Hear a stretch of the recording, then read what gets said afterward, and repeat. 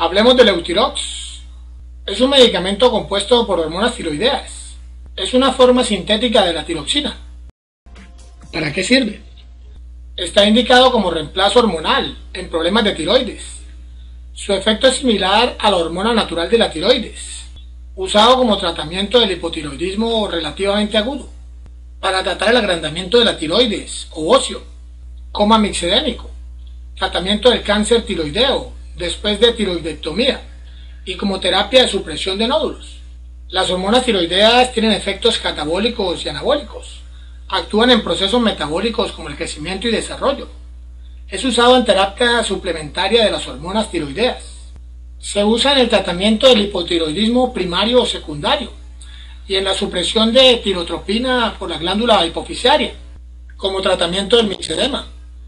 Este medicamento es útil cuando la función tiroidea está disminuida o falta por completo. Tratamiento del cretinismo, del bocio no tóxico y del coma hipotiroideo, usado en hipotiroidismo por extirpación de la glándula Tratamiento de la tiroiditis linfocítica y tirotoxicosis o exceso hormonal. En tirotoxicosis durante el embarazo y como profilaxis tras cirugía de bocio tiroideo. Es útil para reducir el colesterol sanguíneo. En la aterosclerosis o santomatosis. Tratamiento de la obesidad de origen hipotiroideo. En hipotiroidismo congénito.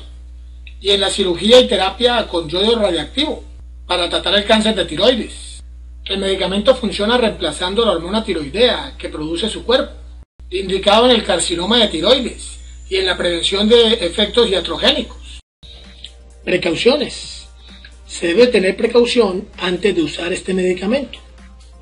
Dígale a su doctor si es alérgico, si está tomando otros medicamentos, si tiene diabetes, endurecimiento de las arterias, o enfermedad renal o enfermedad hepática, si ha tenido hepatitis, problemas de sangrado, porfiria, enfermedad cardiovascular, problemas de hipertensión, dolor de pecho, si ha tenido angina o dolor de pecho, arritmias, ataque al corazón, si ha tenido una glándula suprarrenal o problemas con la pituitaria. Contraindicaciones. Este medicamento no debe usarse en algunos casos. No debe usarse en casos de hipersensibilidad al medicamento, no en inflamación del páncreas no en tratamiento de la obesidad, en infarto del miocardio y en insuficiencia adrenocortical, en angina o hipertensión. Reacciones adversas. Este medicamento puede causar algunas reacciones, como son las náuseas, vómitos, diarrea, pérdida de peso, temblores y dolor de cabeza, al igual que insomnio, sudoración excesiva, calambres estomacales, nerviosismo e irritabilidad. También latido del corazón acelerado, pulso acelerado o irregular y angina o dolor en el pecho.